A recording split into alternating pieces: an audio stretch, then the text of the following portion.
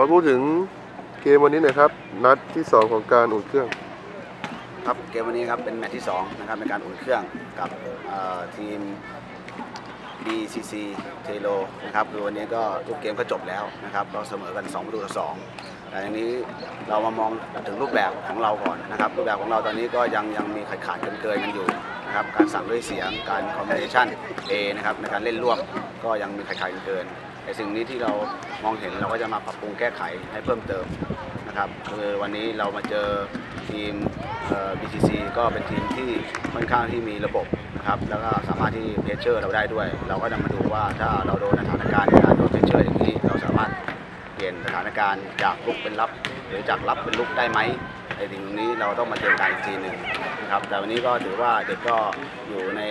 เกณฑ์ที่น่าน่าพอใจนะครับ แต่เราก็ต้องมาปรับรายละเอียดเล็กๆน้อยๆที่เรายังขาดอยู่นะครับเพื่อทีมนะครับ แล้วก็ฝากไว้อีกเกมหนึ่งนะครับเอ่ออีกเกมหนึงเราจะต้องลงกับ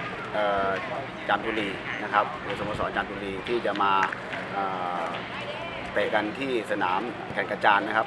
ก็ในวันพุธนะครับ เวลา 4 โมง